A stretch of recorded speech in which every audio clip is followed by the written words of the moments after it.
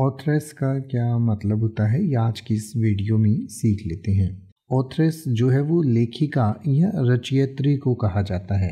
यानी कि कोई व्यक्ति कोई किताब लिखता है तो उसको ऑथर कहते हैं और कोई महिला यानी कि कोई फीमेल कोई किताब लिखती है।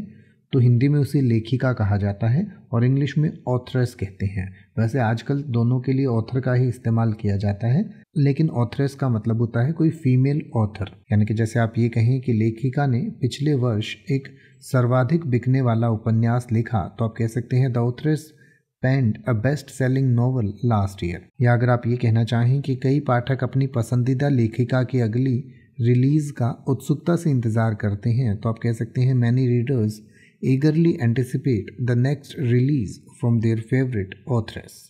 अब आप ऐसे ही किसी भी वर्ड का मतलब हिंदी और इंग्लिश में YouTube पर सर्च कर सकते हैं। आपको मेरी वीडियो मिल जाएगी, जिसमें आप बिना किसी फालतू बकवास के सीधा उस वर्ड का मतलब समझ पाएँगे। तो ऐसी ही वीडियोस को देखते रहने के लिए चैनल को सब्सक्राइब करें और बेल आइकन को प्रेस करें।